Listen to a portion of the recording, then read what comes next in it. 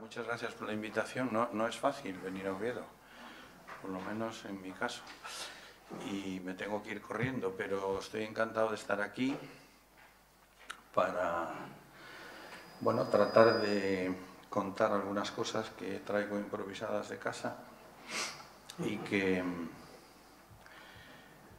y que espero que, puedan servir de, de, interés o que sean de interés para...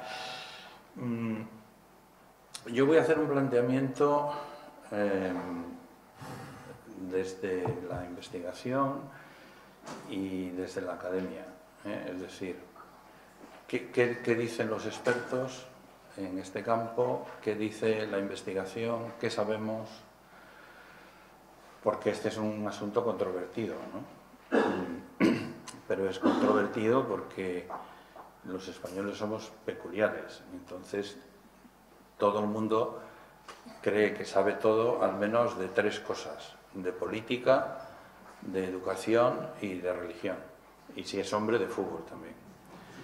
Bueno, aunque ahora igual también si es mujer, porque ahora está de moda el fútbol femenino, estamos ahora en un campeonato europeo o algo, sí. Bueno, bien, vamos directamente al asunto. Entonces, yo voy a hablar de, de estas Tengo ahí una cosa en, entre corchetes, porque probablemente eso me lo salte, o haga una referencia breve, porque es un, tema más de carácter más técnico que igual no, no es ahora de tanto interés para, para vosotros. Pero mmm, quiero aclarar mmm, el concepto, porque si no sabemos de qué estamos hablando o no estamos de acuerdo en esto, pues es difícil mantener un diálogo constructivo. ¿no? Luego quiero hacer algunas mmm, referencias a la identificación, que me parece que sigue siendo una asignatura pendiente, y esto es un problema mm, pedagógico, es un problema educativo, no es un problema clínico. Y luego eh, quiero hacer alguna reflexión también sobre qué es lo que puede hacer la escuela. Por tanto, quiénes son, cómo los identificamos, qué hacemos.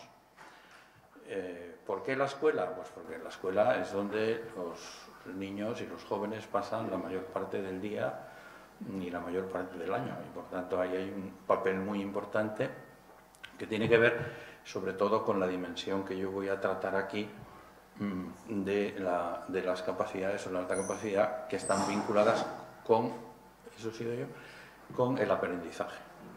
¿Eh? Hay otras muchas dimensiones, pero en el tiempo que tenemos disponible para una conferencia no se puede hablar de todo y además sería un abuso. ¿no? Bueno, eh, mmm, tampoco eh, presupongo yo que, que mmm, bueno, algunos temas pueden ser de discusión, pero fíjense, eh, claro, yo le voy dando vueltas para buscar argumentos para ayudar a la gente a pensar sobre este asunto, sobre todo los que no son expertos. ¿no? Uno puede tener un hijo diabético, pero eso no lo convierte en endocrino. ¿Eh? Entonces cuando se dice, no, es que los endocrinos no están todos de acuerdo, eso no es cierto. Otra cosa es que el abordaje de algunos problemas puede tener enfoques distintos. Pero yo que tengo relación con las personas más relevantes del mundo en este asunto, por razón de que ya soy viejo y, bueno, y eh, he presidido el Consejo Europeo de Alta Capacidad durante años y he tenido oportunidad de conocerlos, eh, siempre es cuando les traigo para hacer alguna masterclass en el experto que dirijo UNIR, aprovecho también para hacerles una, una entrevista que, que, está en el canal de YouTube que pueden ver, ¿no? Y siempre hago, pregunto esto, digo, mmm, usted ha propuesto esta teoría, tú has propuesto esta teoría, fulanito ha propuesto la otra, el otro ha propuesto la otra, y entonces eso lleva a mucha gente, es que los expertos no se ponen de acuerdo. Digo, mmm, respóndeme a esta pregunta, ¿cuál es el sustrato común de todo esto? Y hay un sustrato común enorme. Por lo tanto, cuando alguien dice que los expertos no se ponen de acuerdo, lo que pasa es que no ha estudiado lo que dicen los expertos. Bien, también es cierto que este es un asunto que según que uno sea profesor, o sea padre, o sea orientador, o, fin, o sea administrador, pues tiene que tener un conocimiento evidentemente distinto, más o menos profundo, más o menos extenso. Eh, los profesores generalmente no tienen acceso a la investigación porque, no, más que nada, no, no es que no tengan acceso, lo que no tienen es tiempo, ¿verdad?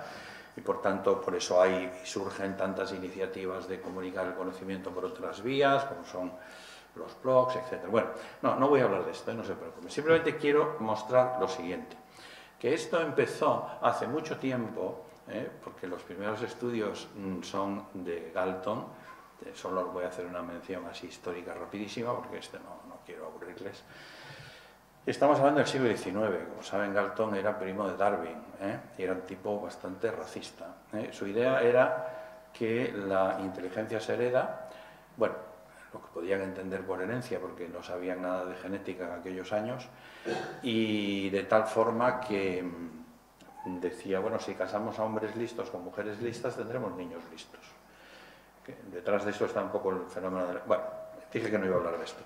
Pero eran modelos de dominio general. La, capacidad eh, se entendía eh, como un constructo unitario, ¿verdad? Eso dio paso luego, por razones de desarrollo que no voy a, he dicho que no les voy a aburrir con esto, a modelos de dominios específicos. ¿eh? Por ejemplo, es, es, muy mm, hablar de, por ejemplo, el modelo CHC, que es el modelo de Cattle, Horn y Carroll, es incomprensible que muchos mm, orientadores o psicólogos no lo conozcan cuando es el modelo en el que se basan todos los test modernos de inteligencia.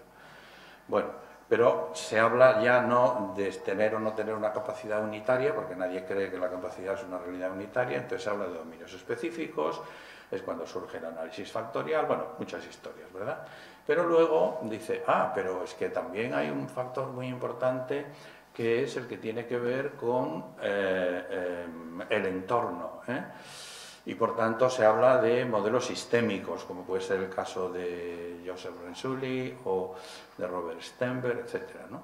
Pero actualmente toda, digamos, toda la academia gira alrededor de esto, de modelos basados en el desarrollo. El desarrollo hace referencia a a la dimensión evolutiva. Por tanto, eso ya de entrada nos dice que no, hay que quitarse de la cabeza la idea del ser o no ser. No, no es cierto que hay unas personas que son y otras personas que no son. Eso no se lo cree ahora mismo nadie. Bueno, nadie relevante, ¿no? Entonces hay una serie de modelos aquí, eh, algunos de ellos me voy a referir yo rápidamente. Lo que quiero decir con esto, simplemente con estos tres globos de colores, hemos pasado 150 años de investigación y de literatura por toneladas que está ahí y que se puede leer. Por lo tanto, yo quiero empezar por aclarar una primera cosa. Eh, luego, como, vais a ir viendo, este, mm, no sé lo que iba a decir, porque me ha distraído la batería este, o esta. Eh, es, esta, pues, es una niña. Eh, el, referente, el referente que tenemos en la literatura internacional, eh, y casi todo está escrito en inglés, el lenguaje, el, término que se usa es gifted. Gifted quiere decir, literalmente quería, querría decir regalado. Y traducido al castellano, pues quiere decir dotado. No, dotado, ¿eh? Dotado. Y giftedness, que es el sustantivo, hace referencia a la dotación. Por tanto, en la literatura eh, anglosajona o eh, en, la literatura inglesa, americana también, australiana, etc., se habla de gifted, giftedness, se habla de talent y talented, es decir, los que tienen talento, los talentosos, que lo traducimos de una manera u otra. Pero en España eh, nos ha dado por traducir el término gifted por superdotado. Y este es un término que no tiene paralelo en la literatura internacional relevante. Entonces, claro, ah, eh, desde un tiempo. Y, entonces, y hay, aquí una cosa importante que me parece que es el concepto, yo ya lo avisé. Yo ya lo avisé. Eh, mm, fíjense que ahí dice superdotación o alta capacidad. Desde luego, superdotación de ninguna manera, y trataré de justificar un momentito por qué, por razones de fondo. Y desde luego, y tampoco, porque entonces es conjunción, y quiere decir que estamos hablando de dos cosas distintas. No, los que hemos propuesto en España utilizar el término alta capacidad en lugar de superdotación, que usamos en su día, yo tengo un libro que se titula así, que es del año 98, pues no ha llovido ni nada, sobre todo en Asturias, eh, pues, mm, pues ¿por qué no? Porque, mm, porque la superdotación no es un atributo. No es, esto los psicólogos y los orientadores lo entienden muy bien. No es un atributo, no es un rasgo eh, no es un cromosoma de oro, como luego señalaré citando a otro autor, no es un rasgo o condición personal que se alcanza con la que se nace, de tal manera que no es cierto que unos son superdotados y otros no son superdotados. Ya está, esto es así. Pero por esto, porque la superdotación no es un atributo, como, como dice Pfeiffer, es un constructo social, es una etiqueta, pero que ni siquiera, porque en inglés es giftedness. ¿eh? Por tanto, que no es necesariamente superdotado, sino dotado. Y es el término que se, nos hemos inventado para referirnos a un grupo de personas. Pero claro, el problema que tiene la semántica es que induce a pensar en un rasgo, en algo físico, en algo que las personas tienen o no tienen. ¿eh? Esto es y, esto es equivocado. Claro, luego además esto está ligado con otra cosa que voy a decir después, que es ligar esto con el cociente intelectual. Y entonces ya tenemos el, problema perfecto. ¿eh? Y sobre todo si establecemos un número mágico. ¿eh? como el CI 130. Esto es lo mismo que si estuviéramos hablando de la sublimación o del punto de ebullición de una sustancia. No es cierto que haya un punto eh, concreto de cociente intelectual a partir del cual las personas subliman o ebullicionan y dejan de ser lo que eran para ser otra cosa. Esto es una cosa porque la capacidad es una cuestión de grado y es algo que se desarrolla en interacción con el entorno en el que estamos. ¿Me estoy explicando más o menos? Sí. Por tanto, no somos, sino que estamos en proceso de ser. El problema, claro, porque si somos, la escuela ya no tiene que hacer nada. Oye, los que son, son. Y los que no son, no son. Pero el problema es que todo el mundo sabe que nadie nace ganador del Tour de Francia ni nadie nace ganador de Roland Garros. Las personas tienen que trabajar para convertir lo que son sus capacidades, sus aptitudes en competencias o talentos, como voy a decir después. Y claro, es muy importante porque el talento no se desarrolla de manera espontánea, por tanto es imprescindible la intervención educativa.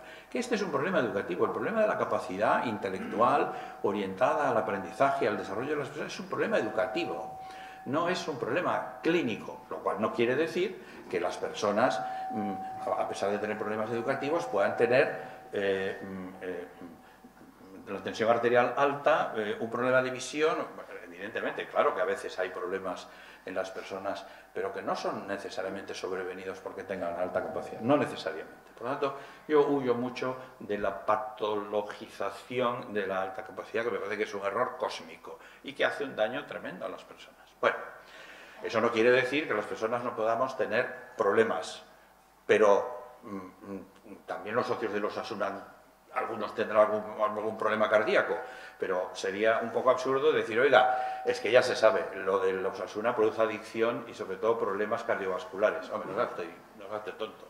Bueno, esto que no, en fin, Esta, es la primera definición que se utilizó sobre el tema de las personas, los niños o jóvenes dotados y con talento. Gifted and talented. ¿Sí? Dotados y con talento. Bueno, y lo que dice ahí, que no me voy a parar necesariamente, pero hay una cosa muy interesante que sí quiero, porque además todo esto, eh, pues se puede leer, está, yo tengo casi todo esto escrito en el blog, etc. Bueno, yo quiero ir al fondo quiero ir al fondo de la cuestión. Es muy interesante, en el año 82, si no me falla la memoria, una revista muy conocida, se llama The Gifted Child Quarterly, bueno, muy conocida para los que estamos en esto, para los que no, no tienen por qué serlo, cuidado. Eh, mm, hizo un, monográfico sobre mitos sobre, los, los, gifted, la, eh, giftedness, que es lo que pensaba en Estados Unidos.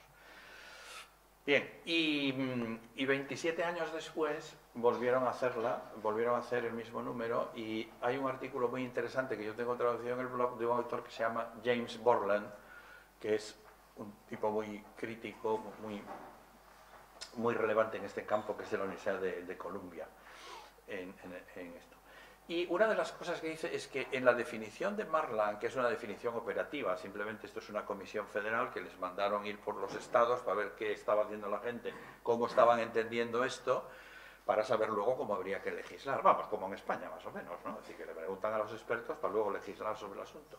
Cuando estamos en un país en el que todavía no se sabe qué es esto de eh, quiénes son estas personas, porque nadie las ha definido en ningún sitio. Por lo menos yo no lo he visto en ningún texto legal. Pero bueno, probablemente España es... Bueno, lo dejaré para después. Bueno, entonces, incluye un mínimo del 3 al 5%.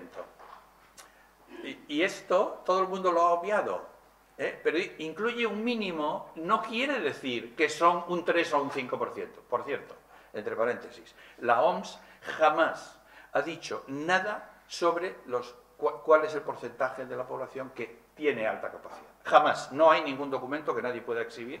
Y además la OMS tampoco es un organismo competente, lo digo en todas partes, o sea que no voy a no decirlo aquí, porque este no es un problema médico, esto es un problema educativo. Ya creo que lo he dicho ya tres o cuatro veces. Bueno, entonces eh, dice un mínimo, lo cual no quiere decir que no, que no es mucho más, porque hay algunos autores que hablan de mucho. Bueno, entonces uno podría decir, oye, vamos a ver, ¿qué dicen? Eh, veo que Cristina se ríe mucho, pero, pero eso está bien. Este, mm, ya un día, cuando era Pablo Olszewski Kubilius, un nombre fácil de recordar por todos, este, presidenta de la NAGC, que es la asociación de altas capacidades más grande del mundo, que es la americana, National Association for Gifted Children, dijo, ellos se reúnen, los, directores tienen comités de expertos, porque hay muchos profesores, pero hay muchos investigadores de muchas universidades, y entonces se reúnen para eh, hacer lo que llaman position papers. Es decir, ¿cuál es la postura mm, de ustedes sobre este asunto? Sobre la aceleración, sobre el enriquecimiento, sobre qué es la alta capacidad, sobre lo que sea, ¿no? Bueno, que es una manera bastante inteligente de hacer las cosas. Entonces, bueno, entonces yo tuve autorización para traducir los papers que me pareciera oportuno. Entonces, en concreto este, de redefiniendo la alta capacidad para un nuevo siglo, que así se titulaba en inglés, lo, tienen eh, usted o vosotros, os voy a tutear porque al fin y al cabo somos colegas, sufrimos en el mismo terreno, eh, pues eh, lo tienen ahí en esas dos entradas, posición de la NAGC. Entonces yo voy a rescatar aquí ahora para este asunto algunas frases. Entonces lo más interesante es lo que está ahí en negrita, pero pero procede de esa definición y dice luego cuáles son las implicaciones para los padres, para los profesores, para la administración, porque oiga, si esto es lo que entendemos los expertos sobre lo que es eso de la alta capacidad, las altas capacidades, pues ¿quiénes son estos? Pues estos son personas que demuestran un nivel de aptitud, bueno, lo que dice ahí, no hace falta que lo lea, ¿verdad? Nivel de aptitud sobresaliente, he puesto en gordito, en grande, 10%. Dice, por lo menos, eh, esto tiene una justificación que luego si hace falta la hago, porque se, pero son, los porcentajes siempre son mm, aproximados, porque si no, si yo dijera, si dijéramos un porcentaje como un valor fijo de referencia, mm, estaríamos, eh, estaríamos entrando en contradicción con el hecho de decir que no se trata de ser o no ser. ¿Y cuánto? No se sabe. Depende, porque a lo mejor eh, eh, el, problema surge, el problema surge cuando eh, mm, hablando de la escuela y hablando del aprendizaje, el currículo no supone un nivel de reto que esté a la altura del nivel de capacidad de las personas. Porque esto es lo mismo que si Nadal se entrenase en, un club de, alevines. Pues no ganaría nada. O como si los ciclistas se entrenasen, los profesionales, con los del cicloturismo. ¿Cómo iban a subir el turmalet luego?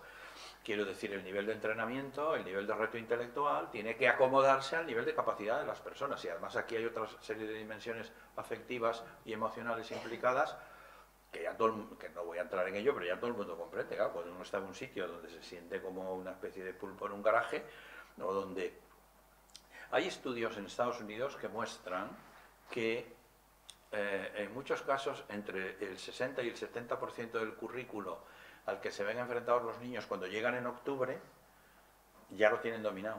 El 70 al 80% del currículo del año. El año. Esto no se soluciona saltando curso. Esto se soluciona entendiendo lo que es un enfoque personalizado de la educación. En fin, no podremos aquí hablar de todo. Bueno, y los dominios incluyen todo lo que quieren ahí. Todo lo que. Es decir, no solamente estamos hablando de las matemáticas y la música, sino también de, el, nivel artístico. Me voy a referir de, las dimensiones. Bueno, ya me entiendo. Bueno, ¿y eso qué exige? Pues dice por ahí al final la definición esta, mm, dice que hacen falta ajustes en el nivel de profundidad. Esto todo lo tengo escrito en el blog, ¿eh? o sea, que el que quiera entrar allí a aburrirse, puede hacer. Nivel de, el nivel, el nivel, la profundidad y el ritmo de desarrollo del currículo. Ya luego hablaré de la escuela, porque tenemos una escuela que está organizada con los pies. Es decir, está organizada en función de la edad y no de la competencia, y eso es una trampa mortal. Bueno, por tanto, el problema no es... Eh, en fin, hay muchos problemas, pero se pueden resolver todos.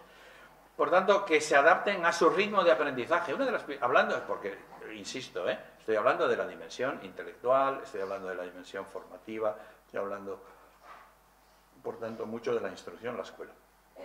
Y una de las cosas que define o que caracteriza a las personas de alta capacidad es el ritmo de aprendizaje.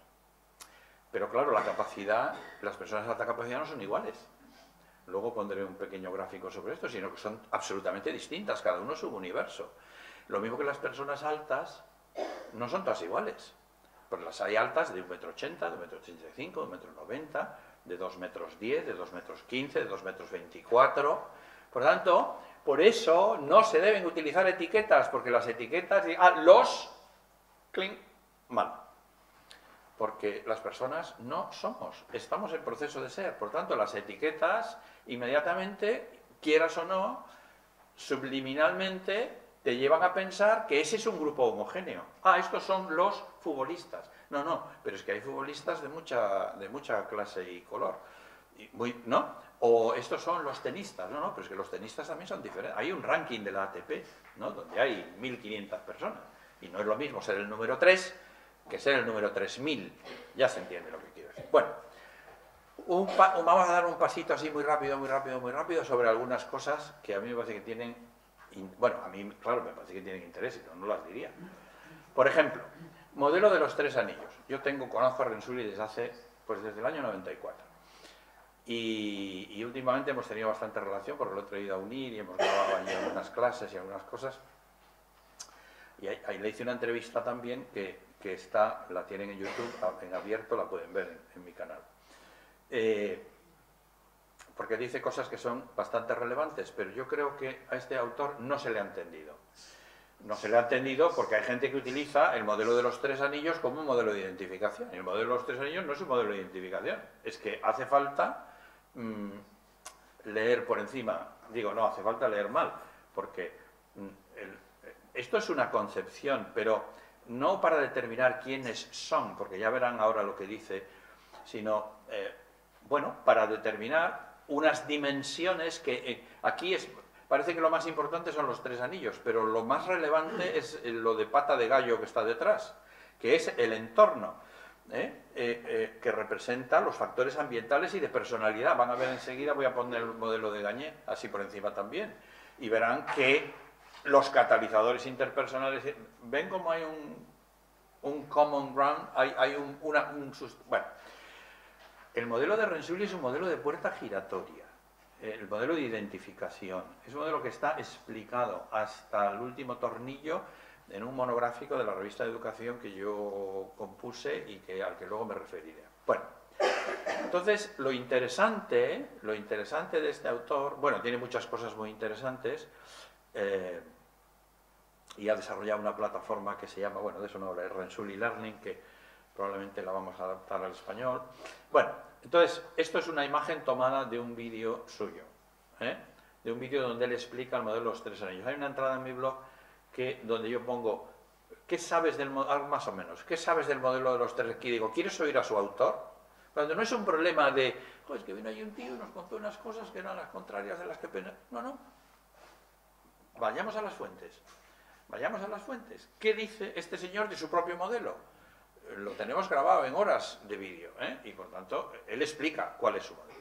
Pero aquí lo interesante, bueno, quiero decir que es, posible distinguir la mena y la ganga. ¿eh? Eh, él habla de dos dimensiones, como ven ahí, lo que llama el Schoolhouse Giftedness, que sería la dotación para el mundo académico, digamos, la escuela, los niños que van bien, que tienen bueno, rendimiento en la escuela, etcétera, etcétera. Y luego una dimensión que es lo que él llama las inteligencias fuera de la curva normal, que es la dimensión creativo-productiva, que es otra cuestión mm, distinta, que puede ser complementaria o no.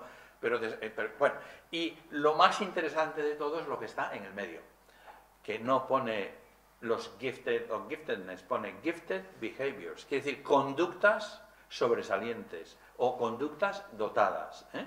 Bueno, eh, dos, claro, oiga, y, y, yo porque tengo, no, no, a mí no tiene que creer lo que yo digo. Mm, simplemente, si quieren ver el modelo de los tres anillos en una visión global y actual, vayan a esa entrada del blog, que ahí está puesta, donde está, no recuerdo ahora el, artículo, pero está traducido entero en castellano para que lo puedan ver. Y si uno quiere profundizar, mm, o sea, eso está sacado de un libro que se ha publicado, ah, yo escribí un capítulo ahí con John Freeman, donde, que es el, el último libro gordo ¿eh? que se ha escrito sobre esta temática, ven Giftedness, que es dotación y talento, el handbook de la APA, la Asociación Psicológica Americana, la institución psicológica más importante, la asociación más importante del mundo. Entonces, ahí mm, eh, han compilado un libro con los escritos de las personas que han considerado más importantes alrededor del mundo sobre, esta temática. ¿no?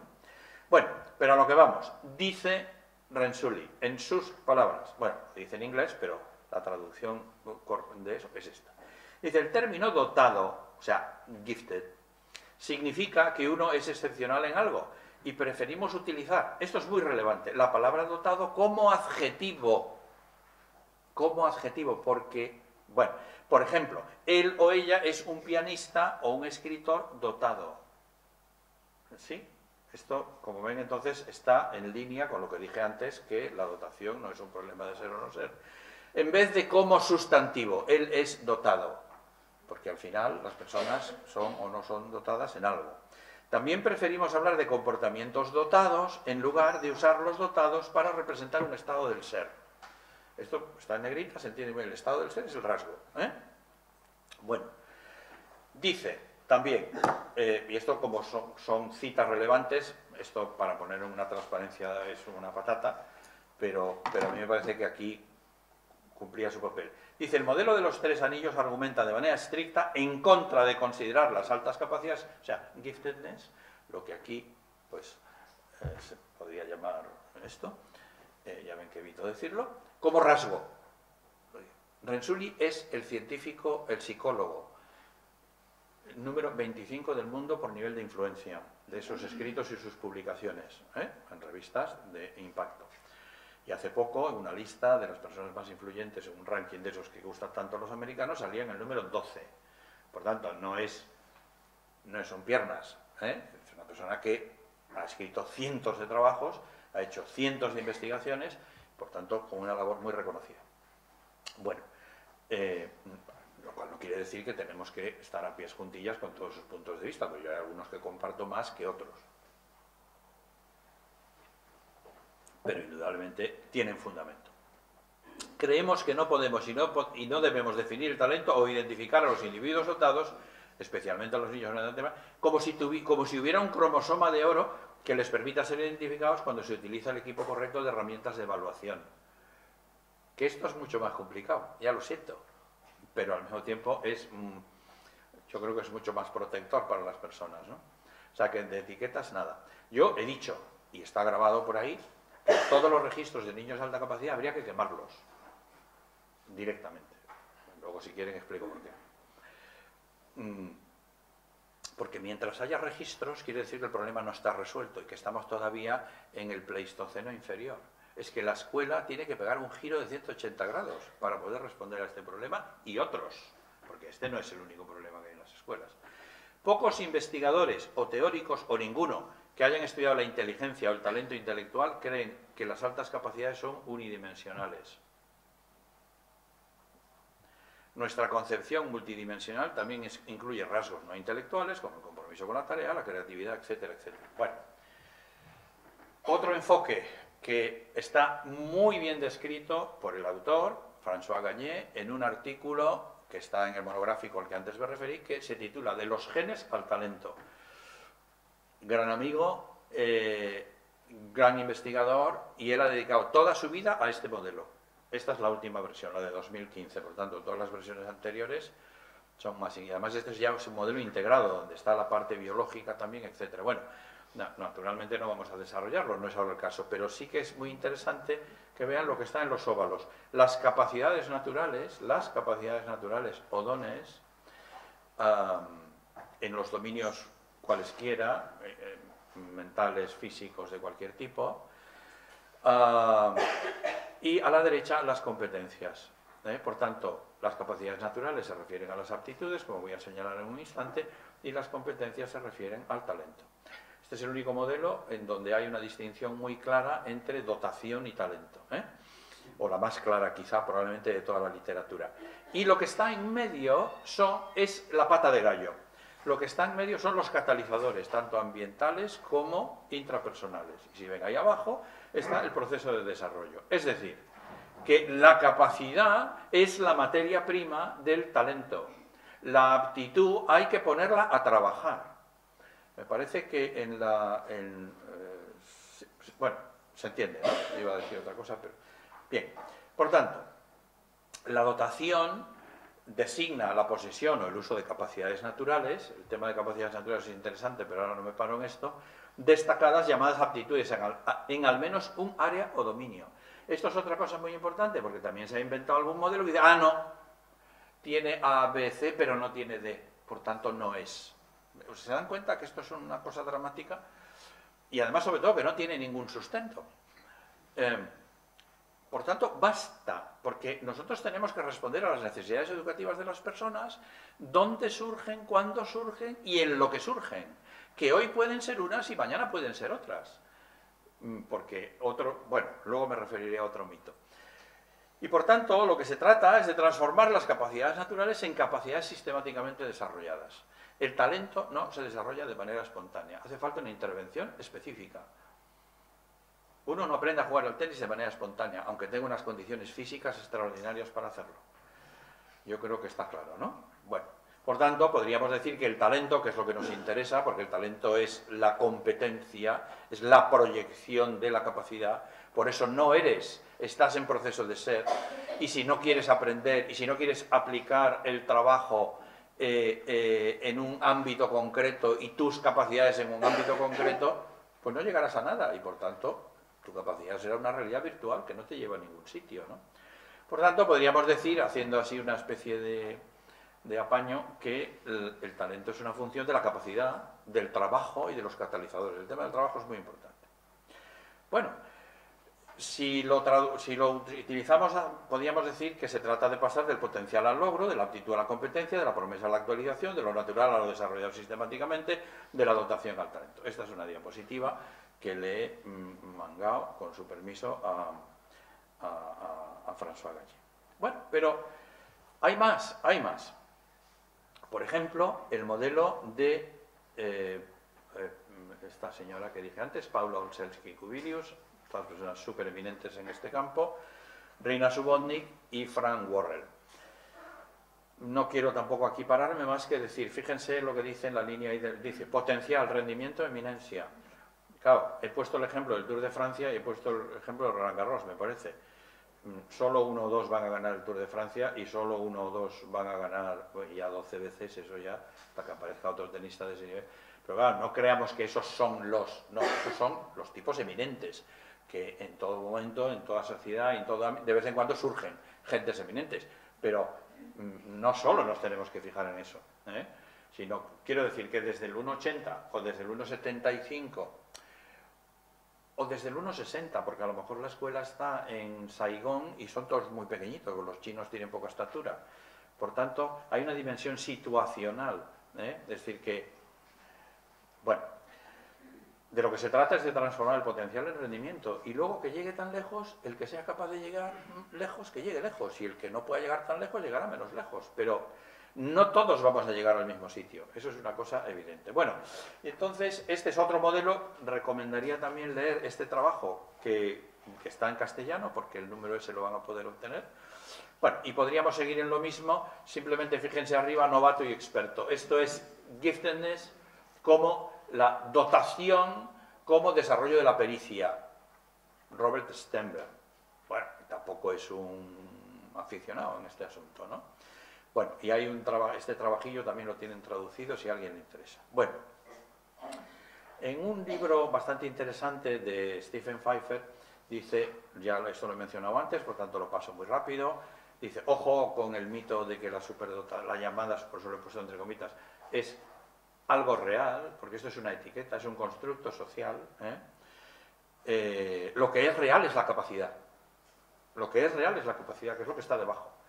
Bueno, el segundo mito es que una vez identificado, que si tú tienes un cociente intelectual alto, eres, pues eso, pues de momento, por lo menos en, en los mares por los que yo navego no está soportado en ninguna literatura relevante y el tercer mito es que una vez identificado lo serás para siempre. Luego me voy a referir en la identificación, porque creo que me estoy enrollando aquí mucho, a una cosa muy interesante. Esto lo tienen desarrollado, si alguien tiene, quiere capturar el código, pues les lleva directamente a la entrada del blog donde está. Pero bueno, es igual, eso lo, pueden buscar. Eh, digo que luego me referiré a una cosa citando a dos autores en cuestión eh, referido al CEI. Bueno, entonces este autor por eso habla de diversas dimensiones que también se pueden tener en cuenta, esto se podría relacionar con lo anterior, hay que ver las capacidades, las altas de las personas y los jóvenes de alta capacidad desde la alta inteligencia, desde el alto rendimiento y también desde el potencial para rendir de modo excelente. Este es el modelo tripartito, hay un libro entero que hemos editado UNIR de este autor sobre identificación y evaluación del alumnado con altas capacidades, donde esto lo desarrolla bastante bien, es muy interesante. Y esto es pues otra postura alguien que se ha quedado en blanco. No.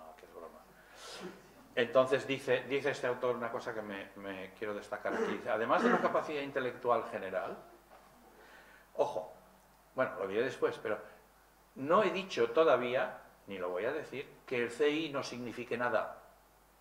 Yo no he dicho eso, ¿eh? Cuidado. Lo que digo es que el CI no lo es todo. Y no es el indicador preferido para referirse a este asunto, porque estamos hablando de una realidad multidimensional, no unidimensional. Por lo tanto, lo que nos interesa es conocer el perfil competencial de las personas. ¿eh? Bueno, y todo el mundo sabe que el CI al final es el resultado más o menos de establecer algún tipo de promedio, depende de la prueba. Eh, bueno, por tanto, pero digo, la capacidad intelectual general y muchos test ofrecen puntuaciones de este tipo, y las capacidades específicas y un buen, buen número de factores no intelectivos. Esto me quiero referir ahora un momento, porque lo dice.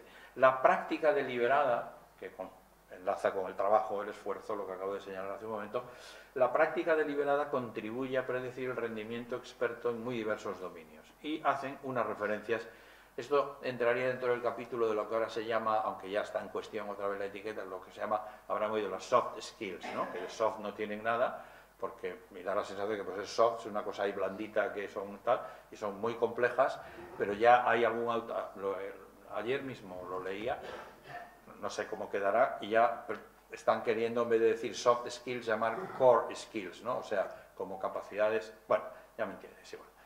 Eh, por tanto, trabajo duro, recompensa diferida, autodisciplina, son importantes en el uso, en el desarrollo de los estudiantes más capaces. Porque al final, eh, si tú no aplicas tu voluntad al trabajo y al, y, al desarrollo de tu... No, no hay nada que hacer. Por tanto, el problema en el que estamos es en transformar las capacidades naturales en capacidades sistemáticamente desarrolladas. El talento es, por resumir, el talento no se desarrolla...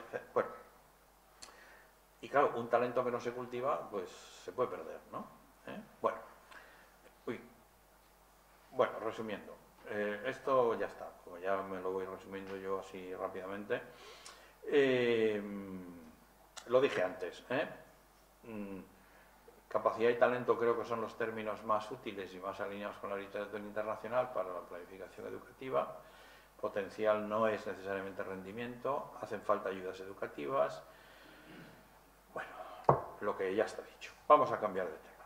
Eh, tienen mucho de esto en este número de la revista de educación, que nos costó año y medio hacerlo, o sea que... Y ahí está, escribe Ronsuli, escribe Pfeiffer, escribe Gagné, escribe uh, Subotnik, bueno, escriben autoridades mundiales muy importantes, y está en inglés y en castellano, por tanto cada uno lo puede... Y hace falta ir a, a Google y darle clic y bajárselo. ¿Eh? Y si uno lo quiere en papel, también lo puede pedir bajo demanda. Si lo pide en papel, tiene que pagarlo. Pero si se lo baja en PDF, es completamente gratuito. Gratuito quiere decir para el usuario final. Nos ha costado dinero, pues hecho con los impuestos de los españoles, claro. Es una revista del Ministerio, que no hay nada gratis. Bueno, esto me lo voy a saltar. Eh, si quieren, alguien tiene interés, luego volvemos, pero podría ir a un resumen simplemente Fíjense cuántos niños en los niveles, porque tendría que explicar las escalas de rendimiento y todo eso y es ahora un poco rollo. Eh, fíjense, cuanto más verde mejor, cuanto menos verde peor. En Asturias, en PISA 2009, había un 10% en los niveles altos de rendimiento, pero en Corea o en Finlandia están el 26, el 18, el 20 y tantos. ¿Ven lo que pasa? Bueno, uno podría decir es que PISA 2009 fue una mala cosecha, pero claro, cuando uno viene al 2012, dice, ¿dónde está Asturias? 13%, bueno, tampoco es de lo peor, pero eh, que sí que hay gente que tiene un 1%, ¿no? Pero fíjense otros países, como Corea, Japón, Suiza, Bélgica, Países Bajos, es el número de alumnos que tienen niveles altos de rendimiento. ¿eh? Por lo tanto, hay una, y si quieren PISA Ciencias, que es lo último que tenemos disponible, Asturias, que está ahí, tienen 5%. Son, estos son solo comunidades españolas. ¿eh? Bueno, por tanto, hay todo un análisis de los estudios internacionales de rendimiento, no solo PISA, sino TIMS y PIRLS. Yo me he dedicado un poco a esto porque la evaluación forma parte de mi área de trabajo. y, lo que se ve es que el sistema español tiene eh, mm, serias dificultades para bombear alumnos a los niveles superiores de rendimiento. ¿eh? Eh, y por tanto, podemos presumir, aunque el rendimiento eh, en los alumnos de alto rendimiento habrá gente de alta capacidad y otros que tendrán menos, y habrá mucha gente de alta capacidad que no tiene alto rendimiento, eh, pero lo que se ve es que hay dificultades para bombear alumnos a los niveles superiores. ¿eh? Por tanto, quiere decir que esto, quien más perjudicado se verá, será siempre el más capaz. Eso es, así, ¿no? Bueno, pero vamos a dar un paso más porque, mm, este, bueno, Vamos a hablar de la identificación de los más capaces. Es que no me voy de aquí porque, como lo están grabando, se, van a quedar sin sonido, pero estar sentado me, es fatal porque... no, es igual, pero pues, no, no, si es por, es por el público, no es por mí, yo puedo estar sentado, pero... Bueno, una asignatura pendiente. No voy a hablar aquí de cómo se identifican y se dejan de identificar, porque esto no es, no voy a dar, no voy a hablar de una cuestión técnica voy a hablar de, voy a hablar de, de, una cuestión de fondo. ¿eh? Bueno, entonces, eh, fíjense, esto simplemente lo traigo aquí un momento porque las distribuciones de todas las pruebas que se utilizan para... No, si está aquí el micrófono, no os preocupéis. Eh, que se utilizan para, para evaluar las capacidades de las personas, mm, generalmente en las poblaciones, si son suficientemente grandes, sigue una distribución normal, por una razón técnica muy sencilla, ¿no? que cuando se estudia algo de medidas se sabe, y es que están configurados para que sea así. ¿eh? De tal manera que mm, las puntuaciones en una escala, mm, una escala de CI, mm, no, no, estoy hablando del CI como el concepto original, edad mental, edad cronológica, etcétera, ¿eh? que tiene muchos años, sino del CI como una escala de puntuaciones transformadas una escala que tiene de media 100 y de desviación típica 15. ¿no? Bueno, ¿cuántas quédense solo con este dato. ¿Cuántas personas, eh, eh, o cuál es el CI que corresponde al 10% superior de la población? 120. ¿Cuál es el CI que corresponde al 5% superior de la población?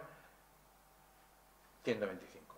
¿Cuántas gentes hay con un CI? Quédense solo así con un dato aproximado. ¿Cuántas gentes hay por encima de 130 en una población normal? El 2,28%. Eso es así esto sí es así, esto se cumple así, porque los test se construyen para que las puntuaciones se distribuyan con arreglo a este modelo, que es un modelo matemático, y por tanto sabemos exactamente cuál es el área bajo la curva normal para cualquier puntuación. De la misma manera que podríamos decir lo mismo de, los valores de 75, 85, lo que. Es decir, de la misma manera hay tantos alumnos por debajo de 70 como por encima de 130, punto. A ver, vamos ahora a ver los datos de algunos. Por ejemplo, año 15-16. Datos, estos son datos del Ministerio, incluso la, bueno, ¿no? Entonces he señalado ahí Asturias. Eh, el total de alumnos en España, eh, esto me llevó a mí a hacer una entrada que titulé La caprichosa distribución de la inteligencia en España. Porque claro, resulta que los murcianos son la bomba. ¿eh? Mm, los navarros, bueno, ahí en Navarra, como demostraré dentro de un momento, porque yo vengo de allí, aunque soy gallego, como ya se ha visto, ha habido una migración de talento no explicada todavía, pero no están. ¿eh? Ya. Fuéronse, pero no sabemos a dónde. bueno, entonces, claro, ¿por qué hay? Eh, eh, bueno, en fin, cuando uno...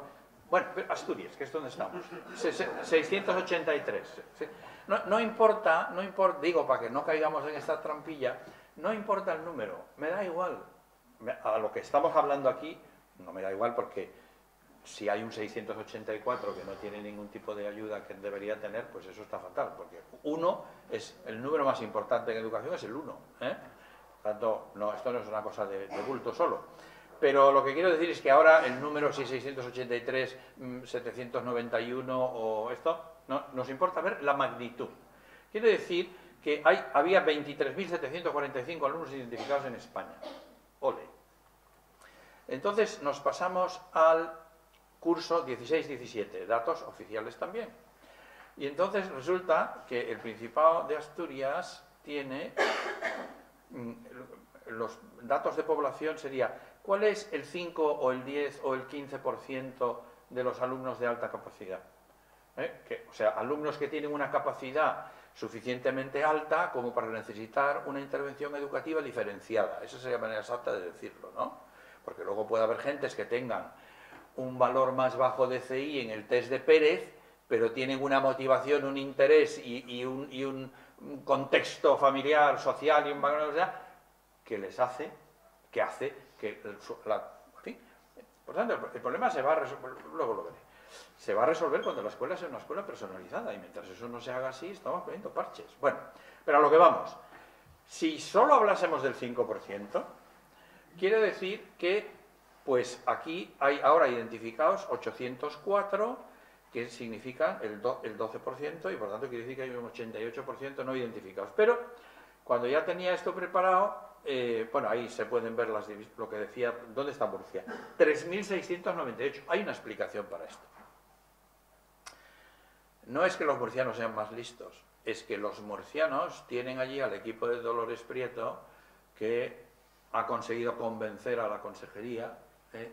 o milagro para hacer cosas y entonces han estado estableciendo procesos relativamente sistemáticos, más o menos sistemáticos, porque a Murcia también le falta mucha historia. ¿eh? Tenían que tener cuidado, están mejor, sí. Mm, eh, mm, claro, el tuerto en el país de los ciegos es el rey, pero el 5% de su población son 14.500. 14.500. Bueno, pero a lo que estábamos. Ahora salieron, pero el otro día, los números, ahí tienen el porcentaje que sería de no identificar, sobre la parte más fácil que es, bueno, y uno podría decir, miren, yo puedo aceptar por un segundo, pero solo por un segundo, y a propósito de lo que voy a decir, lo del CI 130. El CI, y esto es para la administración directamente, con todo mi afecto. El CI 130 significa el 2%, vamos a decir 2,5%, ¿no? Pues es la mitad de esto. Si ustedes tuvieran que tener identificado, si el 5% de su población son 6.843, el 5% son 3.400. ¿Dónde están? ¿Dónde están? ¿Dónde están? ¿Se ven? Y no son el 2,28% de ninguna manera. Pero bueno, aunque aceptásemos ese valor por un momento, es que ni siquiera con la definición que pretende utilizar las administraciones en general, esto no es nada contra Asturias, ¿eh? En general, pero es que esto pasa en todas partes. ¿eh? Bueno, pues mucho peor pasa, por ejemplo, en Navarra, donde yo vengo. Bueno, pero acaban de salir los datos del 17-18, los últimos que tenemos, son datos del Ministerio. No me meto aquí si están bien identificados, si están mal, si, están, si la evaluación ha sido lo, que sea, al mogollón, todo lo que tenemos, hecho bien o mal, son 33.482. Y uno podría decir, hombre, yo estuve incluso tentado de hacer un gráfico con los datos de estos tres últimos años, el global pero no, porque vamos a dar una mala imagen. Eran, ¿se acuerdan? 23.000. Luego pasamos a 27.000 y algo y ahora estamos en 33.000. Bien, vamos mejorando. Pero claro, aquí estaban, eh, eran 800 algo, ¿no? Pues ahora, este es el número de ahora, hay 1087. ¿Se ha mejorado? Sí.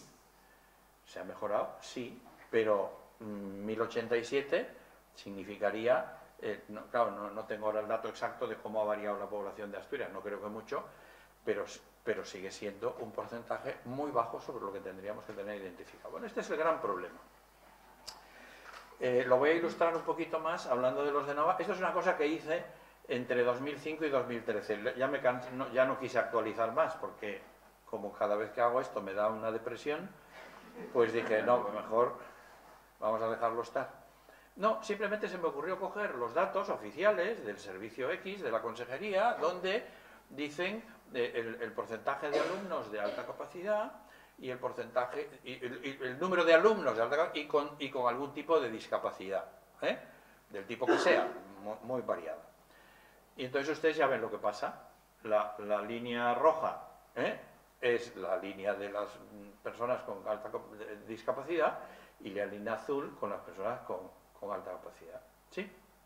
Lo cual no necesita demasiadas explicaciones. Bueno, sí necesita una explicación. ¿Por qué hay un salto meteórico de 1957 a 3207. Porque en ese momento el consejero que ya estaba quiso hacer algo eh, con el TDAH. Y entonces dijeron, esto hay que hacer un... Como eh, si estuviéramos hablando de medicina, hablaríamos de... Hay que hacer un estudio epidemiológico.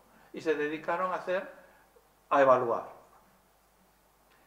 Y, evaluaron y encontraron los porque, claro, porque, bueno, no sé si sí o si no, pero no, ya no me meto en la... Pero sí en el, en el concepto.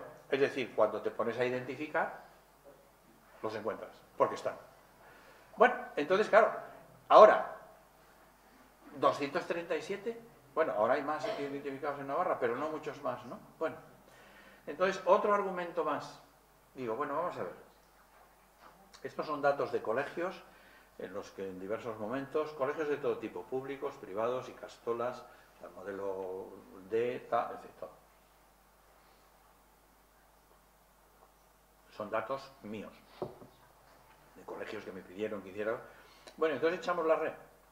Echamos la red para evaluar. fíjense, por encima del percentil 95, fíjense, bueno, ahí tienen los datos. Claro, y dirán, oye, pero eso es un porcentaje sobre los evaluados que algún, incluso algún director me decía, oye, pero me dijiste que esto sería igual un 10%, un 5%, y, aquí me sale el 26%, 25%, y claro, machiño, porque no es lo mismo tener una escuela unitaria allá en la montaña que estar en el centro de la ciudad y tener eh, una población seleccionada donde el nivel socioeconómico y cultural de tus padres está por encima. Es decir, estos colegios no son una muestra representativa en ningún caso de nadie, pero ahí están. Ahí están los alumnos. Luego hay otro asunto, eh, de esto hablé en Santiago, en, puse la conferencia el lunes en, el blog, pues la encontré, la encontré casualidad. Bueno, sí, no sabía que estaba ahí grabada y la puse, ¿no? Este es un tema muy importante y esto sí es una cosa específica, que lo digo muy rápido, técnica y ultra relevante para los orientadores, las personas que hacen evaluación psicopedagógica, en general de los seres humanos, de los bípedos sin plumes. Ah, es muy frecuente que los test experimenten o tengan un efecto de techo. Es decir, que no tienen suficiente dificultad para discriminar las diferencias de capacidad de las personas. Esto, estas curvas que tienen ahí proceden de un trabajo, o sea, proceden de datos empíricos reales. ¿eh? puedo decir, de no, no españoles. Y, he puesto, para que se vea con más claridad, me lo he puesto en términos. Es decir, las personas que están en el 1% superior, es decir, que estarían en el percentil 99, cuando, cuando son evaluadas con un test de dificultad adecuada, se reproduce otra vez toda la curva normal. Uno diría, yo siempre lo pregunto y la gente me dice como que no, pero yo, que me dedico a manejar números desde siempre, yo digo, hombre, yo comprendo que los que estén ahí en la parte más de la izquierda y los de la derecha serán, sí, pues puedo entender que son distintos, pero esos que están ahí arriba de todo, todos juntitos, todos juntitos, pues uno, la intuición te dice que serán más o menos todos iguales. ¿No? Serán más o menos todos iguales. Esto no quiere... Bueno, pues la realidad es que cuando se analizan los datos de esos supuestamente iguales, se produce una distribución enorme, es lo que decíamos antes de la altura, si pudiera ser así de fácil, ¿no? Pues resulta que no son todos de 180 centímetros, que los hay de 224. ¿Esto por qué es importante? Detrás de eso está el modelo del Talent Search, que es la entrada del lunes pasado en el blog, ahí tienen una conferencia de una hora sobre esto. Es importante porque no solo interesa conocer quién tiene capacidad o quién tiene talento, sino que lo que nos interesa es saber cuál es el grado de talento. Porque la respuesta educativa depende del nivel de la capacidad de las personas, también del nivel competencial, etcétera, etcétera. Y si esto no se tiene en cuenta, cualquier diagnóstico o evaluación, que yo prefiero decir, pues el diagnóstico es una más, que se haga sin tener en cuenta esto. Es por tanto, precautoriamente, cualquier persona que puntúe en el percentil 90 o por encima, no vendría nada mal reevaluarla con un test de más dificultad, diseñado para personas a lo mejor mayores o grupos de edad superiores, etcétera, Esto es, esto es el corazón del Talent Search un modelo que es el modelo más investigado del mundo, sin ninguna duda. Pasan por este modelo más de 100.000 personas todos los años en Estados Unidos. yo tengo la serie de los últimos 30 años, porque he trabajado con ellos en esto mucho tiempo. Pero hay una cosa interesantísima, esto lo digo solo de pasada, en la, en la conferencia se lo explico más, pero esto es muy interesante, porque fíjense, en el 1%, claro, como allí nos llevan bastante tiempo, esto está esto, este gráfico está tomado de un trabajo que han escrito las personas que llevan ahora el, modelo, el SMPY que se llama, bueno, y está publicado en la revista Nature, o sea, en fin. Pero, es muy interesante este estudio porque fíjense, ahí eh, lo, que han hecho es tomar el 1% superior y dividirlo en cuartiles. ¿eh? Es decir, pues lo que ahí dice a la derecha, que es lo que pintaba ahí, el 99-25, el 99-50, 99 es que fíjense que ni en el 1%, por eso fíjense lo absurdo que decir, es que los super no sé qué, pero ¿cómo? Pero, pero si cada uno es del, como el, huevo y la castaña. Quiero decir que una persona dice, pero eso es porque lo estamos inventando, lo estamos diciendo. No, pues resulta que los norteamericanos están haciendo en el SMPY un estudio longitudinal a 50 años, que terminará en el año 22 yo estoy deseando ver la síntesis de toda la historia. Y han ido publicando cada 5 o 10 años resultados que están publicados, que son conocidos, que se pueden estudiar y se puede acceder a ellos prácticamente a casi todos con un golpe de clic porque están en, acceso abierto. Pero bueno, no me detengo. Lo interesante es lo siguiente, fíjense, eh, doctorados, publicaciones, publicaciones STEM, doctorados STEM, lo que ven ahí, ¿no? Patentes, etcétera. Fíjense lo que ocurre con los estudiantes que están en el, en el Q1, el Q2, el Q3 y el Q4. Todos son excepcionales, absolutamente excepcionales. Pero fíjense eh, en las diferencias que hay en los que están en el nivel Q1, es decir, e, estos de aquí, ¿no? Q1, Q2, hasta aquí. ¿Lo ven, no? Bueno.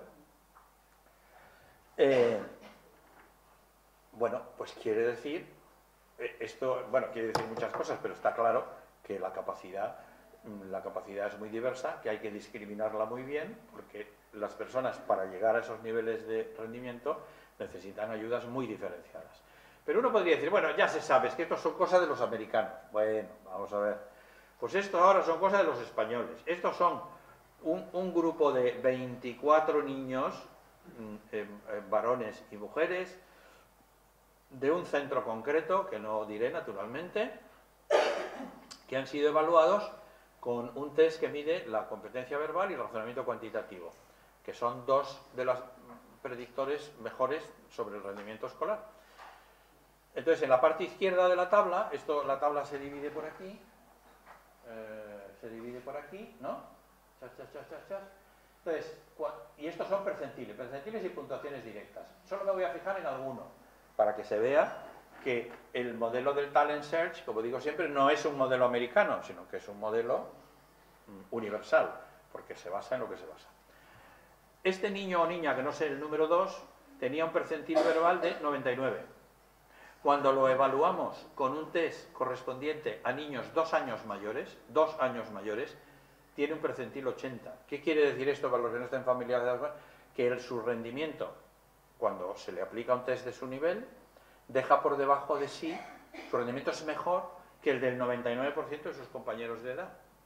Pero es que cuando la comparamos o lo comparamos con niños dos años mayores, su rendimiento es mejor que el 80% de niños dos años mayores. Fijémonos, por ejemplo, porque no hace falta detenerse mucho más, eh, también esto, esta tabla la he puesto por ahí en algún sitio, en el, blog, el número 18, que es una persona de sexto. Esto está comparado, porque no voy a hablar aquí de detalle, está comparado con tres años por encima. ¿eh? Bueno, esto tiene una serie de justificaciones ahora no son del caso en, la puntuación verbal tiene un, 90, percentil 98, pero cuando vuelve a ser evaluado eh, y es comparado con niños de segundo de la ESO, está en el percentil 96. ¿Me quieren explicar qué hace una niña como tú en un lugar como este? ¿Me quieren decir esta niña cómo va a seguir el modelo educativo basado en el profesor al ritmo que el profesor le brote, con su mejor intención? Es imposible. ¿Qué quieren? ¿Cambiarla de curso? Pan para hoy, hambre para mañana. Porque si no entendemos que la aceleración quiere decir flexibilidad curricular, en cuanto la cambies de curso, bien, estará allí, pero el profesor del curso siguiente, cuando explique el teorema de Pitágoras, repetirá lo mismo siete veces, porque los niños que están allí, la inmensa mayoría, le conviene ese tipo de repetición. Y ella a los diez minutos dirá, oiga, yo esto ya me lo sé, yo esto ya lo entiendo. Es que mi problema es que esto a mí no me produce ningún tipo de reto. Y el trabajo repetitivo menos. Y eso que se entiende del enriquecimiento como terapia ocupacional menos. Bueno, en fin. Pero uno seguro que piensa que no, que esto no, que esto es... No, sí, es que es así, ¿no? ¿Es así o no es así? Hala, más sumas. Tú ya has terminado, más sumas. O has terminado, ayúdale al otro. Entonces yo sé de un niño que llegó incendiado a su casa y dijo, mamá, no quiero volver al colegio tienen razones diversas por las que no quieren ir al colegio, pero este era muy gracioso, lo decía, ¿pero por qué? Porque el profesor me pone a corregir las tareas de mis compañeros y si no me pagan, no voy. Claro, tenía Dice, porque al profesor le pagan, pero a mí no me pagan. El niño no. Eso no quiere decir que no les expliquemos lo que es el espíritu de servicio, la ayuda, el trabajo colaborativo y. Eso es otra cosa distinta, entendamos. Bueno, pero entonces uno puede seguir pensando, bueno, pero estos son argumentos, bueno, te sabes de esta gente de la son raros. Miren, estos son, y creo que aquí con esto acabo, estos son, no, no, acabo esta parte, eh, puntuaciones directas, verbales y matemáticas para la cohorte 1. Estos son 3.800 niños. 3.800 niños evaluados con el mismo test en una evaluación general. ¿eh? No. Bueno, y hay niños que tienen esas puntuaciones del círculo de ahí, pero otros tienen estas. Es decir, luego retomar esta idea, es que la diversidad existe, las diferencias de capacidad existen, y todo el mundo lo sabe. Y los primeros que lo saben son los profesores. claro que lo saben. Lo que pasa es que hacemos como que no lo sabemos. ¿Eh? Y en el caso mm, de las matemáticas, pues fíjense las diferencias. Hay niños que están en las puntuaciones máximas del test y otros están en las puntuaciones mínimas. Luego hay niños que tienen dificultad para aprender las matemáticas y hay otros niños que probablemente lo que el profesor le quiere enseñar ya se lo sabe. Bueno, solo un último apunte sobre esto con mi ánimo de ayudar a esclarecer el asunto y facilitar la vida de las gentes. cita de Pfeiffer, Stephen Pfeiffer. Muchas personas todavía creen en una puntuación mágica de CI, algo así como un número único y singular que sería el indicador exclusivo y definitivo de la capacidad. Todas las palabras son importantes, ¿eh? Exclusivo y definitivo de la capacidad mental de una persona. Incluso en el campo de la educación sigue vigente el mito perpetuado en ocasiones por los medios de comunicación, paréntesis. Ayer mismo leí una noticia que en el País Vasco van a poner en marcha un protocolo de qué, y la periodista vuelve a citar a la OMS y al 3%. Y digo, Maripili, bueno, Arancha se llamaría, supongo. Sería vasca, ¿no? Sería Arancha. Aranchazo, ¿eh? ¿Era? Era Marta. Bueno, pues Marta, te has lucido, hijo. Bien según el cual, según el cual, esto por eso lo he puesto en negrita, las negritas son mías, ¿eh? yo enfatizo lo que me... Cada persona nace con un cierto CI. Y ahora, una cita que a mí me parece que es ultra relevante, por lo menos para mí, porque es de Alan Kaufman, ¿eh? uno de los padres de la psicometría y de la evaluación y de la medida, ¿eh? todo el mundo habla del ABC, lo que, en fin, Alan Kaufman, pero como si hablas de las teorías de la inteligencia, hablas de Stenberg y de Stenberg. Bueno, se trata, hablando del CI, por eso yo tengo una entrada que es esa imagen de ahí arriba, que la titulé el CI 130, una obsesión con poco fundamento. Insisto, no quiere decir que el CI 130 no signifique nada. Lo que quiere decir es que no significa lo que la gente dice que significa. Esa es otra cosa. Se trata de una estupidez, dice, porque usa este término, ¿eh? de una interpretación errónea muy frecuente. No existe tal cosa como el CI de una persona. Este es un constructo que varía. Cambia el test de CI y verás cómo cambia el CI. Cambia de examinador el día de la prueba, el estado de humor de la persona evaluada o el nivel de alerta del examinador y verás cómo cambia el CI. Evalúa a una misma persona 12 veces y obtendrás 12 CIs diferentes. Esto es absolutamente demoledor. Y es así, porque los estudios lo muestran. Cuando tú evalúas y evalúas y evalúas a la gente, el CI no es, esto no es como la estatura, no es como, no es como el tamaño del pie. Bueno, yo creo que esto es muy interesante. ¿Para qué? Para que no oigamos, bueno, sí, es muy majo, pero es que tiene 128. Entonces no es. No es que. ¿Entienden la historia? Por eso digo yo lo de los registros y de todo este tipo de cosas. Lo que tenemos es que exigir que la escuela atienda a lo que tiene que atender y es a lo que me voy a referir aquí, pero eso ya lo voy a hacer muy rápidamente. La realidad de todo eso está aquí. Por ponerlo de una manera, bueno, por ejemplificarlo así, no sé si esto ayuda, a mí me ayuda. Eh, si nosotros tenemos en, un eje el tiempo y en otro lado la progresión, los niveles, los grados, primero, segundo, tercero, cuarto, quinto, eso sería pues primero la ESO, segundo la ESO, etcétera, pues en principio la bisectriz es el ritmo de aprendizaje, diríamos, estándar. Si es que alguien tiene un ritmo estándar, pero bueno, alguien seguirá la bisectriz, ¿no? Pero hay unas personas que son las de los, los colores malvas que tienen un aprendizaje más lento. Y hay otras, esto es una conceptualización del asunto, y hay unas personas de los niveles verdes, ven, en esas que cada vez tienen un aprendizaje más en función de su capacidad ordinariamente, y otras variables tienen... Bueno, pues lo estándar diríamos es que 8 años, 8 cursos. Bien. Pero resulta que hay personas que en 8 años solo pueden hacer 8 cursos. Porque su capacidad de aprender, su capacidad de avanzar, no da más. y ya está, no pasa nada. Pero hay personas que en 4 años pueden hacer 8 cursos. Claro, yo ahora podría caer en la trampa de hablar de Terry Tao, que es una persona que no tienen por qué saber quién es y que nunca van a encontrarse un Terry Tao en sus clases, o a lo mejor algún día sí. Terry, Terry Terence Tao es el matemático más importante del mundo, es un chico joven, tiene cuarenta y pocos años. Este se identificó con el Talent Search cuando tenía siete años, obtuvo 760 puntos en el SAT. La puntuación máxima del SAT son 800 puntos que obtiene un ínfimo porcentaje de alumnos de 18 años, es, que es la prueba que se utiliza para el acceso a la universidad en Estados Unidos. Pues este chavalito con 7 años se fumigó el test entero. Se hizo toda la primaria en 6 meses. Claro, si decimos si estos son los de alta capacidad, entonces ya estamos free. Claro, esta vez, o tú pones, empiezas a poner fotos de grandes gentes eminentes, de Moneo, del Este, del Otro, de Plácido Domingo, de... sobre todo cuando le hablas a profesores o a directores, oh, se quedan tranquilos y dicen, bueno, menos mal Menos mal, pues nosotros de esos no tenemos. por eso yo nunca utilizo ejemplos de, incluso los ejemplos de Indurain y de Nadal tampoco son del todo buenos, porque hasta que volvamos a tener otro Nadal o otro Indurain, eh, hace falta que pase mucho tiempo. ¿no? Bueno, tenemos la escuela lo que tiene es que abordar esto, ¿no?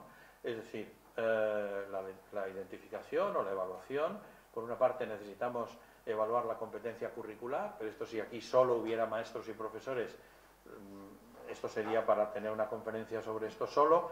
Ahí detrás de eso hay cosas escritas, ¿eh? si tienen una foto, luego lo pueden poner en mi blog modelo de TPI, les va a salir, y ahí lo explico, el optimal match, aprendizaje personalizado, competencia curricular, esto es muy importante. Es decir, hay un artículo precioso que yo he traducido de Julian Stanley, una vez hablando con unas profesoras de una universidad española, profesores, digo, para no dar datos, salió Stanley en el, por el camino y me dice, ¿Stanley? ¿Qué Stanley? Cuando tú hablas con un tío de Tarrasa, de tejidos, y te dice, no, porque la sea natural, y tú dices, ¿sea natural? ¿Qué es la seda natural? Ya no quiere seguir hablando de tejidos contigo. Dice, este tío de tejidos no sabe nada. Pues claro, estar hablando de la alta capacidad y no saber quién es Stanley es una laguna importante para el que no tenga que tener esa laguna. ¿eh? No quiere decir que todo el mundo tiene que saberlo. Bueno, pero este es un modelo muy interesante que está ligado con el talent search. Lo que dije antes, ¿por qué nos interesa saber no solo quién tiene capacidad, sino cuánta capacidad? Porque la respuesta educativa es una respuesta personalizada. Por ejemplo, en los cursos de verano, en los campus de verano que se hacen en CTI, modelo que conozco muy bien, como saben, hay niños, los de matemáticas en concreto, los que menos, es cierto que es gente bastante seleccionada, pero los que menos hacen una asignatura en tres semanas. En tres semanas de campus hacen una asignatura de matemáticas entera, un año entero se lo, merienda. Y los que más llegan a hacer hasta dos años y medio un niño que en tres semanas es capaz de dominar dos años y medio de matemáticas, ¿me quieren decir que hace en la escuela regular? No, ojo, la escuela regular está fenómeno, pero no haciendo lo que se hace en la escuela regular. Eso sería fatal. Bueno, luego tenemos la parte de las capacidades intelectuales específicas, que esto es lo que tiene que estar en manos de las personales. Y luego está el tema de las destrezas soft, que dije que, que de soft no tiene nada, pero porque fíjense a qué se refiere eso. Bueno, y aquí tienen, los, hay muchos cuestionarios para profesores, alumnos, tal, no sé qué. Y hay uno en concreto, un, grupo de cuestionarios que no sé si conocen, que los desarrolló esta autora, Karen Rogers, que es una autora muy conocida, ya ahora mayorcita, pero que tiene... Este es un libro fantástico que sí, yo creo que todavía se puede conseguir, Reforming Gifted Education. Bueno, pero fíjense, el subtítulo dice Matching... Eh, eh, haciendo esto, emparejando el programa con el niño, emparejando el programa al niño. Lo que decía antes de Stanley. Hay un artículo que mm, lo tiene traducido en el blog, que les recomiendo leerlo. No es muy largo, que se titula más o menos A los niños hay que enseñarles solo lo que no saben. Esto es, esto es mensaje para profesores. A los niños hay que enseñarles solo lo que no saben. Ya está. Bueno, entonces estos cuestionarios de Rogers yo los eh, tengo autorización para esto, están traducidos y ahora mismo los hemos puesto online, de tal manera que son accesibles para cualquiera, de los presentes y de los ausentes. Están en la red. Mm, es gratuito, ustedes entran ahí en los cuestionarios de Rogers, ah, si son padres como padres, si son profesores como profesores, si, y si son chicos sujetos, agentes del asunto, también porque se miden los estilos, las preferencias de aprendizaje, los intereses, las motivaciones, cómo te gusta aprender, cuál es tu actitud hacia la materia, hacia las asignaturas, etc. Y hay dos cuestionarios muy interesantes, uno para padres, para la evaluación del potencial, que cuál es la percepción de los... Muy interesante cruzar esta información, y otro para profesores. ¿eh? Entonces los profesores deberían, ¿eh? Mm, eh, deberían hacer esto pensando... Bueno, y, ya está, y están ahí traducidos, gratuitos, y te bajas, lo, terminas, haces clic y te bajas el PDF y te ha costado el tiempo que te haya costado responder.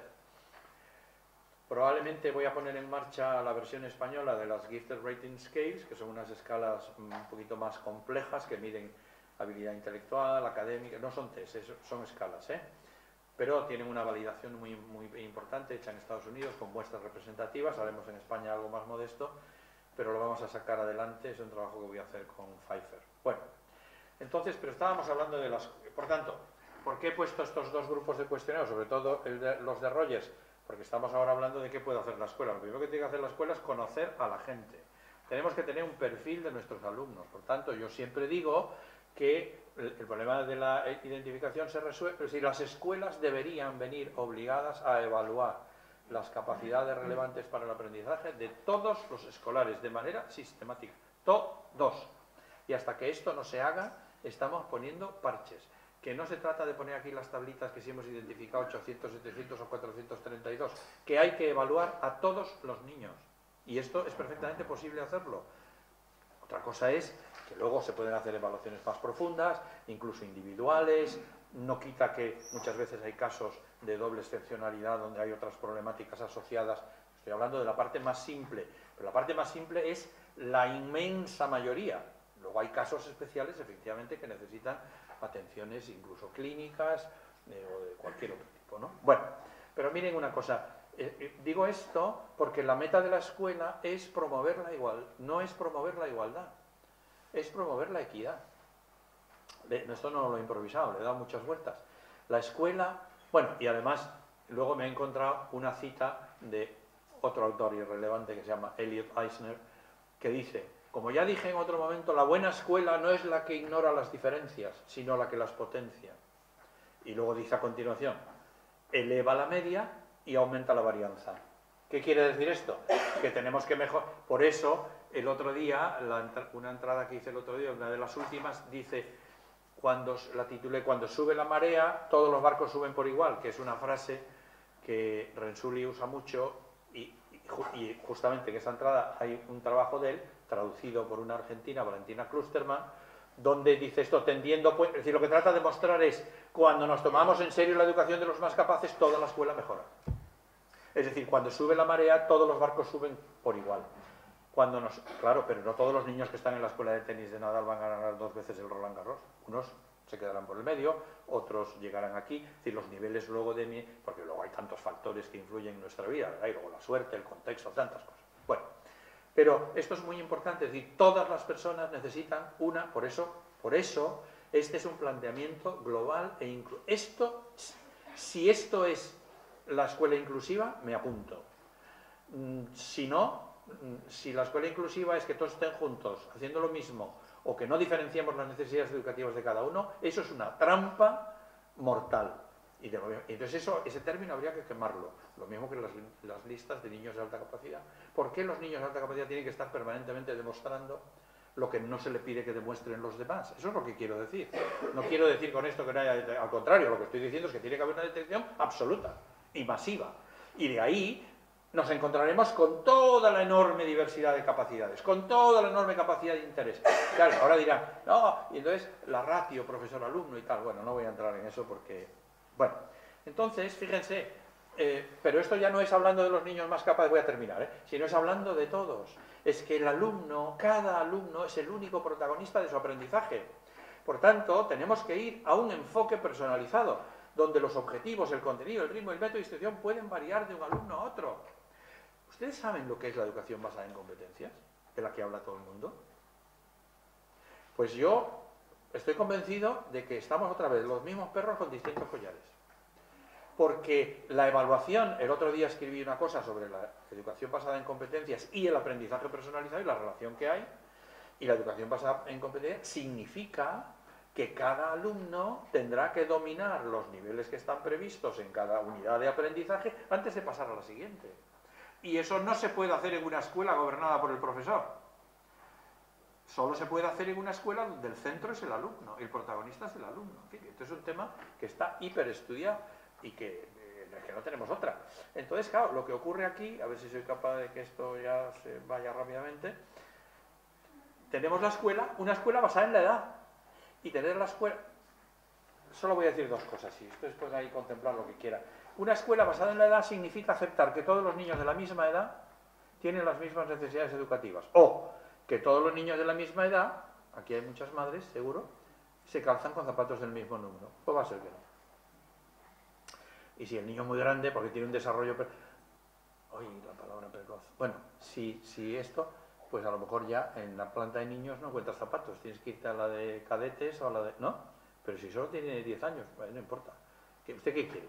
Que le pongamos un zapato mordaza o que cortemos como se hacía antes cuando éramos pobres, es decir, siempre. Las sandalias se cortaban por delante, ¿se acuerdan? Para que salieran así un poquito los deditos. Eran eh, sandalias de verano con ventilación, ¿no? Con aire acondicionado. Y bueno, pero todavía, como los, eh, los, Pero claro, tú no puedes meter a una persona en una horma que no le corresponde, porque luego vienen los problemas afectivos, emocionales, mamá no quiere ir al cole que me aburro, y todas esas. Bueno, entonces, ah, claro, utilizar la edad como criterio de agrupamiento parece que ha sido muy inteligente, pero no lo ha sido. Porque lo que habría que hacer... De hecho, la escuela nunca fue así. Las escuelas, si uno eh, contempla, por ejemplo, y estudia las escuelas jesuíticas del siglo XVI, la escuela estaba basada en la competencia. Los que estaban en latín 1 estaban allí hasta que se lo aprendían. Y cuando se sabían en latín 1 se iban a latín 2. Independiente. Eso es lo que pasaba en la escuela unitaria donde a mí me prepararon para el ingreso Ya está, ¿eh? y todos tenemos esta imagen en la... ¿eh? Bueno, los profesores tenían allí lo que entonces se llama toda la EGB o toda la historia, todos, juntos, y sabían perfectamente qué hacer con cada uno, porque la escuela estaba basada en el trabajo del alumno, no en el trabajo del profesor. El profesor estaba allí para guiar y orientar y abrir los caminos. Y esto es, esto es muy interesante, porque la escuela tiene que ser un espacio de aprendizaje. Bueno, y si fuera eso, entonces estaríamos en un modelo de desarrollo del talento. En fin, esto tiene mucho más discurso, pero no.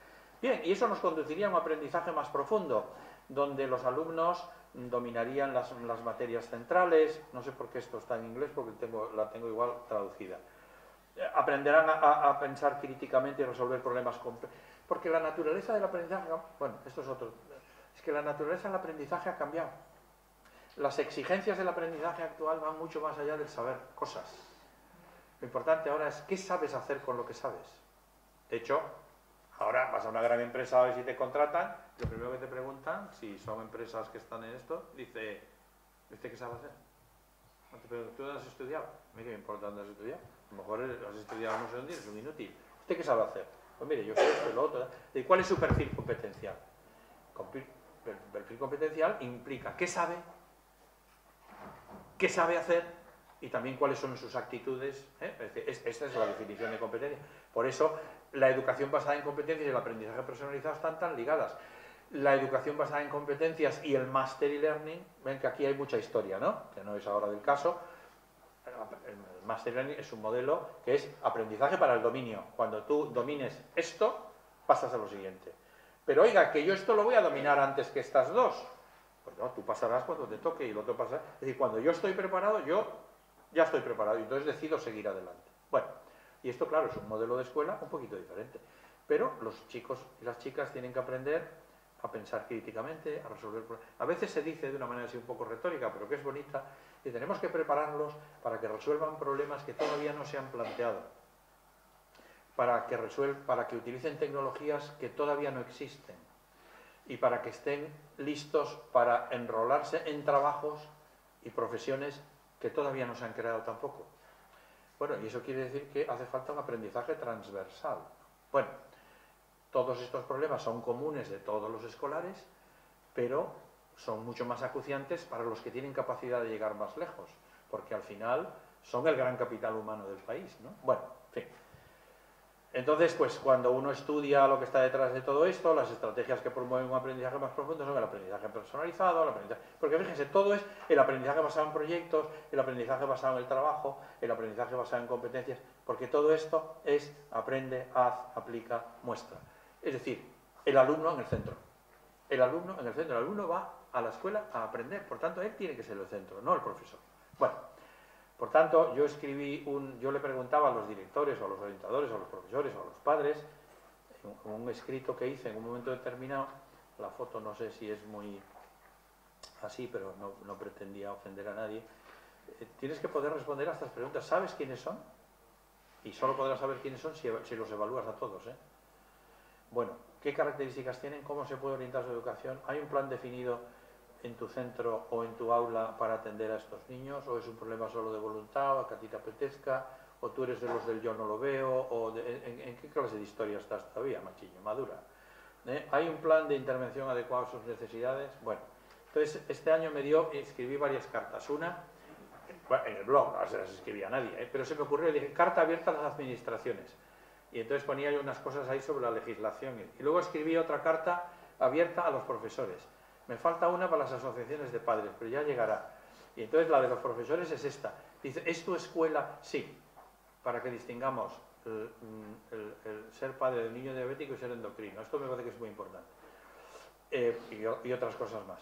Eh, ¿Es escuela una máquina de destruir talento? Entonces, sobre esto razono algunas cosas en las que ahora no me voy a parar. Bueno, entonces, ¿cómo pasamos aquí de la condescendencia, del yo no lo veo, bueno, pues ya te ayudaré, pues ya veremos, pues hombre, a lo mejor pues yo decía aquí, ¿cómo se pasa de la condescendencia a la justicia? Que es una palabra muy gorda, la justicia, ¿eh?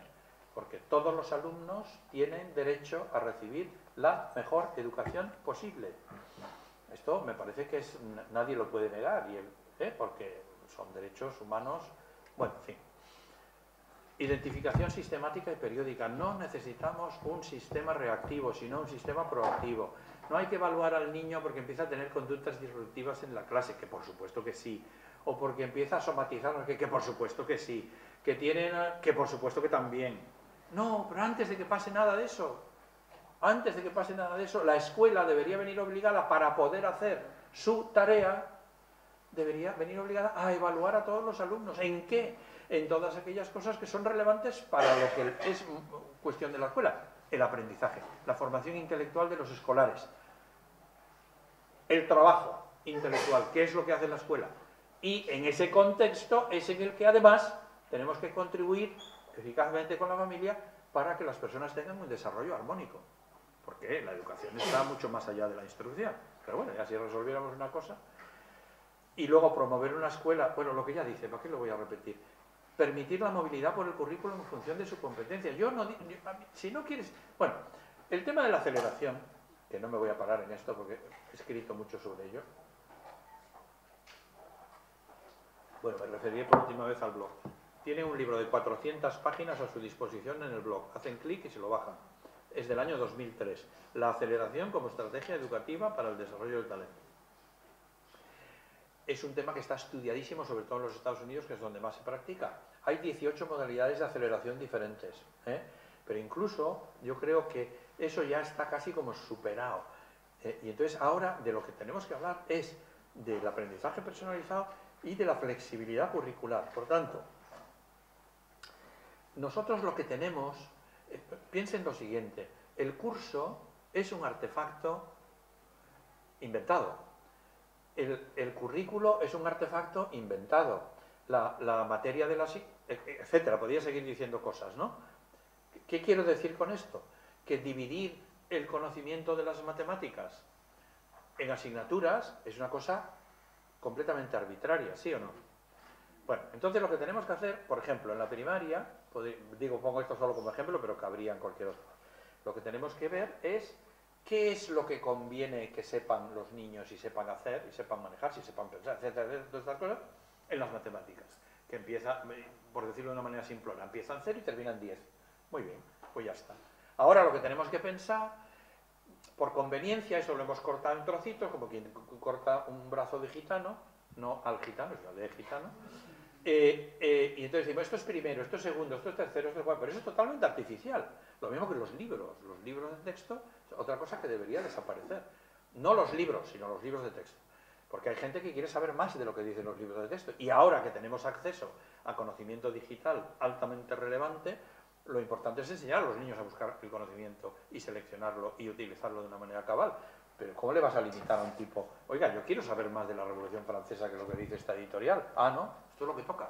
Bueno, quiero decir, hay tantas cosas arbitrarias que las damos como buenas. Entonces, lo que quiero decir es que el niño debería poder moverse como Terry. Vamos a poner este ejemplo que es un poco como salvaje. Como Terry Tao. Si esos seis años de la primaria es capaz de hacerlos en seis meses, que los haga. Ya está.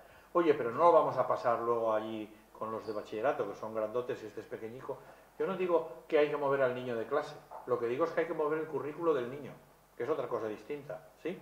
Cambiarlo de clase o no dependerá de la oportunidad, la necesidad, la conveniencia y, muchas otras cosas.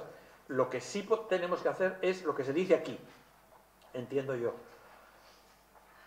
permitir la movilidad por el currículo en función de la competencia demostrada. Competencia demostrada. No se trata de ir a correr porque corren mucho, no, no. Bueno, tres, ya está dicho. Eh, eh, potenciar la personalización del aprendizaje y la flexibilidad curricular. Y ahora sale aquí lo de las tecnologías digitales. Claro, los profesores muchas veces dicen, ah, pero es que yo tengo 30 niños en la clase, o es que yo tengo 25, o es que yo tengo este problema, tengo el otro. Bueno, nosotros tratamos de enseñar a los profesores cómo se puede personalizar el aprendizaje utilizando tecnología educativa adecuada, diseños de instrucción adecuados y tecnología digital adecuada. Se puede hacer. Es cuestión de ponerse a ello. Y aquí no vamos a entrar en esto, ¿no? Bueno, y luego creo que sigue siendo necesario entender que la respuesta educativa a los niños más capaces va más allá de la escuela. Y esa es la razón por la que, dependiendo de las facilidades o no que se tengan en cada región o en cada lugar, el hacer cursos intensivos de verano, el hacer otro tipo de actividades, visitar museos, planetarios, cursos eh, que se pueden hacer en la universidad utilizando los recursos disponibles, generalmente son necesarios para, vamos a usar este término, saturar la capacidad y el ansia de aprender de los alumnos. En cualquier caso, eh, hay mucha literatura escrita, ya termino, este es un libro que yo recomiendo muchísimo, eh, no tengo ningún interés en él más que su contenido, ah, que es un libro muy centrado en, y está, lo pueden conseguir en Amazon o donde quieran. Ah, tenemos ahora ahí en la cartera dos cositas, a ver si somos capaces de sacarlas. Uno sobre el tema de las soft skills, que dudo que luego el título vaya a ser este. Y también vamos a hacer la adaptación española de este libro sobre desarrollo social y emocional, que es la mejor referencia condensada en un libro que hay ahora mismo. Esta es la segunda edición, que es de, de esos autores que tienen ahí que son conocidos, Neihart, Pfeiffer y Cross. ¿no? Bueno, yo creo que es tiempo de cambiar. Esto es un mensaje para sobre todo los profesores y la administración y es tiempo de mejorar porque la realidad es que otra revolución se aproxima y lo que hay que tener en cuenta es que cuando analizamos cifras y vemos que las cosas mejoran, ¿no? porque ya estamos haciendo, o si yo me pongo aquí a contarle las investigaciones que estamos dejando de hacer, nosotros es posible que tengamos tiempo, pero los niños, los jóvenes no tienen tiempo y por tanto hay que ponerse manos a la obra de manera radical cuanto antes. Muchas gracias.